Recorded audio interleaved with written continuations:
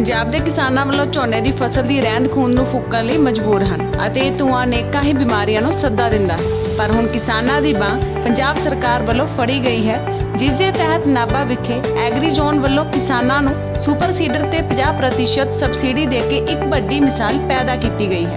ਪੰਜਾਬ ਸਰਕਾਰ ਵੱਲੋਂ ਝੋਨੇ ਦੀ ਫਸਲ ਦੀ ਪਰਾਲੀ ਨੂੰ ਇਕੱਠਾ ਕਰਨ ਲਈ ਕਿਸਾਨਾਂ ਨੂੰ ਸੁਪਰ ਸੀਡਰ ਤੇ 50% ਸਬਸਿਡੀ ਦੇ ਕੇ ਨਿਹਾਲ ਕਰ ਦਿੱਤਾ ਹੈ। ਅਤੇ ਕਿਸਾਨ ਵੀ ਪੰਜਾਬ ਸਰਕਾਰ ਦਾ ਧੰਨਵਾਦ ਕਰ ਰਹੇ ਹਨ। ਇਸ ਮੌਕੇ ਤੇ ਐਗਰੀ ਜ਼ੋਨ ਦੇ ਮੈਨੇਜਰ ਗੁਰਪ੍ਰੀਤ ਸਿੰਘ ਨੇ ਕਿਹਾ ਕਿ ਸਰਕਾਰ ਵੱਲੋਂ ਕਿਸਾਨਾਂ ਨੂੰ ਜੋ ਸਬਸਿਡੀ ਦਿੱਤੀ ਜਾ ਰਹੀ ਹੈ ਅਤੇ ਕਿਸਾਨ ਵੀ ਵੱਧ ਚੜ ਕੇ ਇਸ ਦਾ ਲਾਭ ਲੈ ਰਹੇ ਹਨ।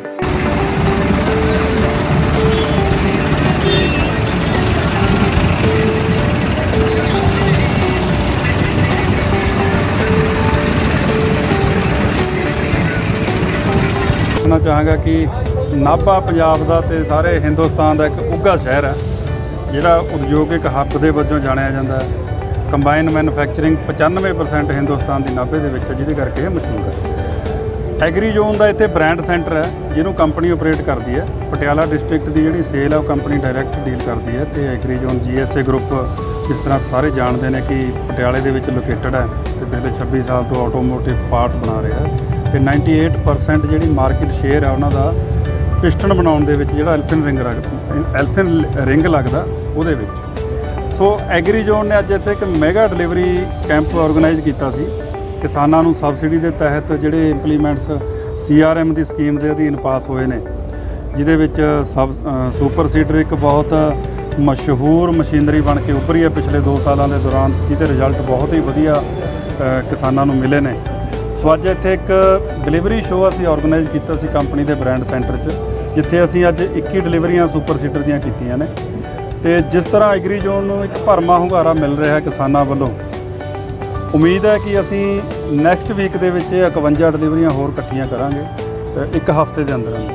ਕੋਈ ਸਬਸਿਡੀ ਸਬਸਿਡੀ ਦੇ ਰਹੇ ਨੇ ਕੋਈ ਡਿਸਕਾਊਂਟ ਵੀ ਕੰਪਨੀ ਵੱਲੋਂ ਜਿਹੜਾ ਹਾਂਜੀ। ਨਹੀਂ ਡਿਸਕਾਊਂਟ ਤਾਂ ਇਸ ਤਰ੍ਹਾਂ ਜੀ ਪੰਜਾਬ ਸਰਕਾਰ ਵੱਲੋਂ ਵੈਸੇ ਜਿਹੜੀ ਸਬਸਿਡੀ ਦੀ ਰਕਮ ਹੈ ਉਹ ਤੈਅ ਕੀਤੀ ਹੋਈ ਹੈ। ਬਟ ਮੈਨੂਫੈਕਚਰਰਸ ਜਾਂ ਹੋਰ ਜੋ ਕੰਪਨੀਆਂ ਨੇ ਉਹ ਕਸਟਮਰ ਨੂੰ ਫਾਰਮਰ ਨੂੰ ਜਾਂ ਸੁਸਾਇਟੀਜ਼ ਨੂੰ ਸਬਸਿਡੀ ਦੀ ਅਮਾਉਂਟ ਕੱਟ ਕੇ ਡਿਲੀਵਰੀ ਨਹੀਂ ਦੇ ਰਹੀਆਂ।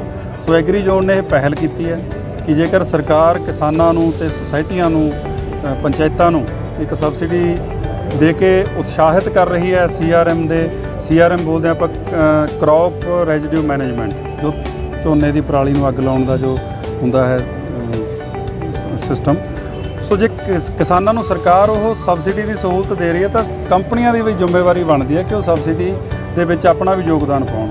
ਸੋ ਐਗਰੀ ਜ਼ੋਨ ਵੱਲੋਂ ਇਹ ਸ਼ੁਰੂਆਤ ਕੀਤੀ ਗਈ ਹੈ। ਅਸੀਂ ਪਹਿਲਾਂ ਵੀ ਤਰਨਤਾਰਨ ਦੇ ਵਿੱਚ 96 ਡਿਲੀਵਰੀਆਂ ਕੀਤੀਆਂ ਸੀ, ਉਸ ਤੋਂ ਬਾਅਦ ਫਿਰੋਜ਼ਪੁਰ 63 ਡਿਲੀਵਰੀਆਂ ਕੀਤੀਆਂ ਸੀ, ਇਕੱਠੀਆਂ ਬਰਨਾਲੇ ਅਸੀਂ 51 ਕੀਤੀਆਂ ਸੀ ਤੇ ਇੱਥੋਂ ਅੱਜ 21 ਕੀਤੀਆਂ ਨੇ। ਅਗਲਾ ਪਲਾਨ ਸਾਡਾ ਮੋਗੇ ਦਾ ਫਿਰ ਹੁਸ਼ਿਆਰਪੁਰ ਦਾ ਪੰਜਾਬ ਦੇ ਸਾਰੇ ਜ਼ਿਲ੍ਹਿਆਂ 'ਚ, ਸਾਰੇ ਸ਼ਹਿਰਾਂ 'ਚ ਇਸ ਤਰ੍ਹਾਂ ਇੱਕ ਮੈਗਾ ਸੈਮੀਨਾਰ ਲਾ ਕੇ ਕੰਪਨੀ ਡਿਲੀਵਰੀਆਂ ਵੀ ਕਰ ਰਹੀ ਹੈ ਤੇ ਕਿਸਾਨਾਂ ਨੂੰ ਜਾਗਰੂਕ ਵੀ ਕਰ ਰਹੀ ਹੈ। ਕਿਸਾਨ ਕਿਵੇਂ ਲਾਭ ਲੈਣ ਇਸ ਦਾ ਕੋਈ ਡਿਟੇਲ ਤੁਸੀਂ ਦੱਸੋ? ਹਾਂਜੀ ਕਿਸਾਨ ਐਗਰੀ ਜ਼ੋਨ ਦਾ ਮੁਕਾਬਲਾ ਦੇਖੋ ਅਸੀਂ ਐਗਰੀ ਜ਼ੋਨ ਨੂੰ ਆਪਣੇ ਪ੍ਰੋਡਕਟ ਬਾਰੇ ਚੰਗਾ ਬੋਲ ਸਕਦੇ ਹਾਂ ਕਿ ਐਗਰੀ ਜ਼ੋਨ ਦੇ ਵਿੱਚ ਕੀ ਆ। ਐਗਰੀ ਜ਼ੋਨ ਸਭ ਤੋਂ ਜ਼ਿਆਦਾ ਇੱਕ ਤਾਂ ਸਬਸਿਡੀ ਕੱਟ ਕੇ ਤੁਹਾਨੂੰ ਕਸਟਮਰ ਨੂੰ ਪ੍ਰੋਵਾਈਡ ਕਰਾ ਰਹੀ ਹੈ ਜੋ ਇੰਪਲੀਮੈਂਟਸ ਨੇ। ਦੂਸਰਾ ਅਸੀਂ 2 ਸਾਲ ਦੀ ਵਾਰੰਟੀ ਦੇ ਰਹੇ ਹਾਂ। ਜੋ ਕੋਈ ਵੀ ਮੈਨੂਫੈਕਚਰਰ ਜੋ ਹੈ ਮਸ਼ੀਨਰੀ ਬਣਾਉਣ ਵਾਲਾ 2 ਸਾਲ ਦੀ ਵਾਰੰਟੀ ਨਹੀਂ ਦੇ ਰਿਹਾ। ਅਸੀਂ ਸਾਰੇ ਗੇਅਰਸ ਦੇ ਉੱਪਰ 2 ਸਾਲ ਦੀ ਵਾਰੰਟੀ ਦੇ ਰਹੇ ਹਾਂ ਜਿਹਦੀ ਕਸਟਮਰ ਨੂੰ ਇੱਕ ਸਹੂਲਤ ਹੈ।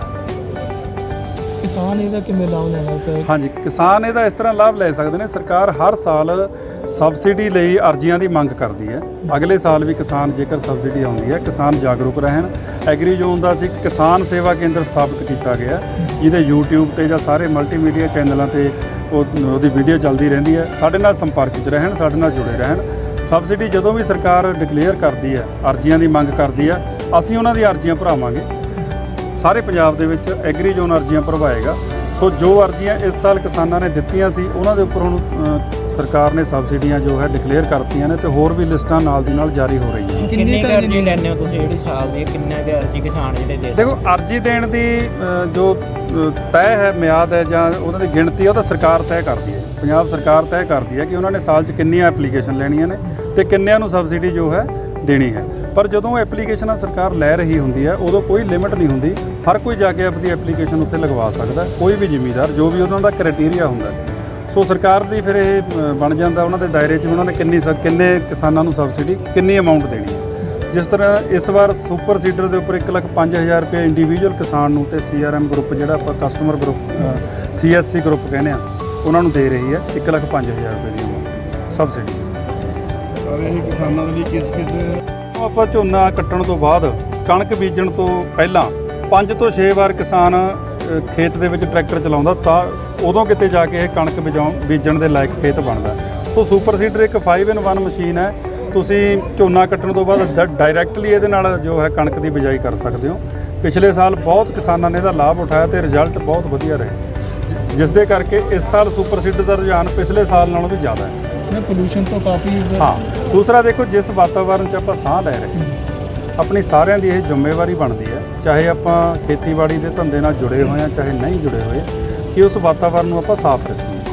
ਕਿਸਾਨ ਕਦੇ ਨਹੀਂ ਚਾਹੁੰਦਾ ਕਿ ਉਹ ਅੱਗ ਲਾਵੇ ਪਰ ਸਹੀ ਸਮੇਂ ਤੇ ਉਹਨੂੰ ਸਹੀ ਰੇਟ ਤੇ ਸਹੀ ਮਸ਼ੀਨਰੀ ਵੀ ਉਪਲਬਧ ਹੋਣੀ ਚਾਹੀਦੀ ਇਹ ਝਾੜ ਦਾ ਕਿੰਨਾ ਫ਼ਰਕ ਪੈਂਦਾ ਸਰਕਾਰ ਜੋ ਉਪਰਾਲੇ ਕਰਦੀ ਹੈ ਉਹਦੇ ਉੱਪਰ ਕੰਪਨੀਆਂ ਦੀ ਸਾਡੇ ਵਰਗੇ ਜਿਹੜੇ ਅੱਗੇ EMPLOYE ਨੇ, ਉਹਨਾਂ ਦੀ ਸਭ ਦੀ ਜ਼ਿੰਮੇਵਾਰੀ ਬਣ ਸ- ਬਣ ਜਾਂਦੀ ਹੈ ਕਿ ਕਿਸਾਨਾਂ ਨੂੰ ਸਹੀ ਮਸ਼ੀਨਰੀ ਮੁਹੱਈਆ ਕਰਾਈ ਜਾਵੇ। ਜੇ ਕਿਸਾਨ ਨੂੰ ਸਹੀ ਮ- ਮਸ਼ੀਨਰੀ ਮਿਲੇ ਤਾਂ ਉਹ ਕਿਉਂ ਅੱਗ ਲਾਏਗਾ ਜੀ? ਉਹਦੇ ਨਾਲ ਮਿੱਤਰ ਕੀੜੇ ਵੀ ਤਾਂ ਅੱਗੇ ਖੇਤ ਦੇ ਵਿੱਚ ਜਲਦੇ ਨੇ, ਜਿਹਦੇ ਨਾਲ ਝਾੜ ਦੇ ਵਿੱਚ ਨੁਕਸਾਨ ਹੁੰਦਾ ਇੱਕ ਵੀਰ ਦਾ ਸਵਾਲ ਹੈ ਕਿ ਇਹਦੇ ਵਿੱਚ ਝਾੜ ਦਾ ਕਿੰਨਾ ਕੁ ਫ਼ਰਕ ਪੈਂਦਾ ਹੈ। ਸੁਪਰ ਸੀਡਰ ਨਾਲ ਬਿਜਾਈ ਕਰਨ ਦਾ ਤੇ ਜਾਂ ਜ਼ੀਰੋ ਡਰਿਲ ਨਾਲ ਬਿਜਾਈ ਕਰਨ ਦਾ ਤੇ ਤੁਹਾਡਾ ਪੁਰਾਣਾ ਟ੍ਰੈਡੀਸ਼ਨਲ ਮੈਥਡ ਜਿਹੜੇ ਪੁਰਾਣੇ ਆਪਣੇ ਤਰੀਕੇ ਚੱਲਦੇ ਆ ਰਹੇ ਨੇ, ਉਹਨਾਂ ਨਾਲ ਬਿਜਾਈ ਕਰਦਾ ਝਾੜ ਦਾ ਬਿਲਕੁਲ ਫ਼ਰਕ ਨਹੀਂ ਪੈਂਦਾ ਜੀ। ਇਹ ਸਿਰਫ ਇੱਕ ਮਿੱਥ ਹੈ ਕਿ ਕਣਕ ਦਾ ਝਾੜ ਘੱਟ ਨਿਕਲੇਗਾ, ਝਾੜ ਦੇ ਵਿੱਚ ਕੋਈ ਫ਼ਰਕ ਨਹੀਂ। ਇਹ ਜਿਹੜਾ ਮਹਿੰਗਾ ਸੋ ਲਾਇਆ, ਇਹ ਬਹੁਤ ਵਧੀਆ ਇਹਨਾਂ ਦਾ ਉਪਰਾਲਾ ਹੈ। ਮੈਂ ਕਕਰਾਲਾ ਸੁਸਾਇਟੀ ਦਾ ਪ੍ਰਧਾਨ ਹੋਣ ਦੇ ਨਾਤੇ ਦੋ ਸੁਪਰਸੀਡਰ ਇਹਨਾਂ ਤੋਂ ਲਏ ਨੇ ਕਿ ਅਸੀਂ ਜਿਹੜੀ ਜੀਰੀ ਦੀ ਪਰਾਲੀ ਹੈ, ਉਹਦਾ ਸੱਜੇ ਢੰਗ ਦੇ ਨਾਲ ਇਸਤੇਮਾਲ ਕਰ ਸਕੀਏ ਕਿ ਉਹਨੂੰ ਅੱਗ ਨਾ ਲੱਗੇ ਪ੍ਰਦੂਸ਼ਣ ਨਾ ਫੈਲੇ ਇੱਥੇ। ਇਸ ਕਰਕੇ ਅਸੀਂ ਦੋ ਸੁਪਰ ਸੀਡਰ ਇਹਨਾਂ ਤੋਂ ਲਏ ਨੇ। ਕਿੰਨੀ ਕੁ ਸਬਸਿਡੀ ਤੁਹਾਨੂੰ ਮਿਲੀ ਹੈ? ਇਹਨਾਂ ਨੇ ਜੋ ਸਬਸਿਡੀ ਪੰਜਾਬ ਸਰਕਾਰ ਦੀ ਹੈਗੀ ਹੈ 1,05,000 ਰੁਪਏ ਉਹ ਸਬਸਿਡੀ ਸਾਨੂੰ ਮਿਲੂਗੀ।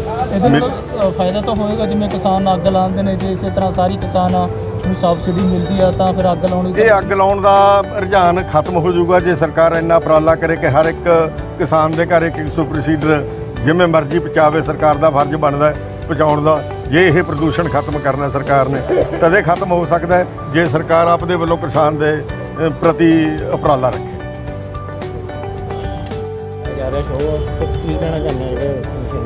ਅਸੀਂ ਐਗਰੀ ਲੋਨ ਵਾਸਤੇ ਸਾਡੇ ਇੱਕ ਤਾਂ ਗਵਰਨਮੈਂਟ ਵੱਲੋਂ ਇਹਨਾਂ ਨੂੰ ਹਦਾਇਤਾਂ ਕਰੀਆਂ ਤੇ ਵੀ ਹੋਰ ਨੂੰ ਸਾਨੂੰ ਇਹ ਰੇਟ ਘੱਟ ਦੇ ਰਹੇ ਨੇ।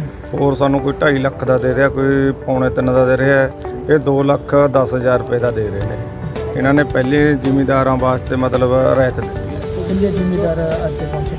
ਜ਼ਿਮੀਦਾਰ ਮਿਲਾ ਦਾ 2-300 ਜ਼ਿਮੀਦਾਰ ਪਹੁੰਚਿਆ ਜੀ ਤੇ ਹਰੇਕ ਸੁਸਾਇਟੀ ਨੂੰ ਦਿੱਤਾ ਇਹਨਾਂ ਨੇ ਵੀ ਆਪਦਾ ਵੱਧ ਤੋਂ ਵੱਧ ਜਿੰਨਾ ਲਾਹਾ ਲੈ ਸਕਦੇ ਨੇ ਲੈ ਸਕਦੇ ਨੇ। ਇਹਨਾਂ ਦਾ ਸੁਪਰ ਸੀਡਰ ਹੋਰਾਂ ਦੇ ਮੁਕਾਬਲੇ ਕਿਸ ਤਰ੍ਹਾਂ ਦੇਖਦੇ ਅਸੀਂ ਤਕਰੀਬ ਮਿਲਦਾ 50 ਦੇ ਤਕਰੀਬ ਸੁਪਰ ਸੈੱਟ ਦੇਖੇ। ਮਤਲਬ ਸਾਰਿਆਂ ਨੂੰ ਇਹਨਾਂ ਦੀ ਕੁਆਲਿਟੀ ਵਧੀਆ ਲੱਗੇ ਤੇ ਆਉਣ ਵਾਲੇ ਸੀਜ਼ਨ 'ਚ ਵੀ ਤੁਹਾਨੂੰ ਲਾਹੇਵੰਦ ਰਹੇਗਾ ਕਿਉਂਕਿ ਜਿਵੇਂ ਅੱਗ ਲਾਉਣ ਦਾ ਰੁਝਾਨ ਵਧਿਆ ਹੋਇਆਗਾ ਇਹਦੇ ਨਾਲ ਕਾਫੀ ਫ਼ਰਕ ਪਏਗਾ ਇਹਦੇ ਨਾਲ ਕਾਫੀ ਫ਼ਰਕ ਪਊਗਾ ਜੀ।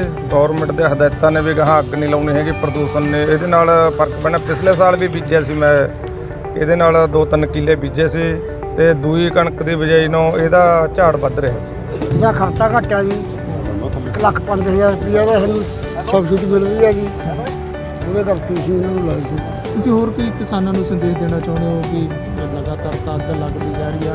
ਪਰ ਹੁਣ ਸਰਕਾਰਾਂ ਵੀ ਅੱਗੇ ਆ ਰਹੀਆਂ ਨੇ ਵੀ ਪੋਲੂਸ਼ਨ ਨਾ ਫੈਲੇ ਦੂਸਰੀਆਂ ਅਸੀਂ ਤਾਂ ਇਹ ਕਹਿੰਦੇ ਵੀ ਹਰ ਘਰ ਦੇ ਵਿੱਚ ਹੋਣਾ ਚਾਹੀਦਾ ਜੀ ਕਿਸੇ ਦੀ ਜਿਵੇਂ ਦੇ ਰਹੇ ਨੇ ਉਕਰੇ ਕਿਸਾਨਾਂ ਨੂੰ ਵੀ ਦੇ ਸਬਸਿਡੀ ਕਿੰਨੇ ਦਾ ਟੋਟਲ ਕਿੰਨੇ ਦਾ ਕਿੰਨੀ ਸਬਸਿਡੀ ਹੈ ਇਹ ਜੀ ਹੈਗਾ ਟੋਟਲ 2 ਲੱਖ ਦਸ ਹਜ਼ਾਰ ਦਾ ਅੱਛਾ। ਇਹ 1 ਲੱਖ ਪੰਜ ਹਜ਼ਾਰ ਸਬਸਿਡੀ ਆ ਰਹੀ ਹੈ 1 ਲੱਖ ਪੰਜ ਹਜ਼ਾਰ ਅਸੀਂ ਦੇ। ਦਿੰਦੇ ਹਾਂ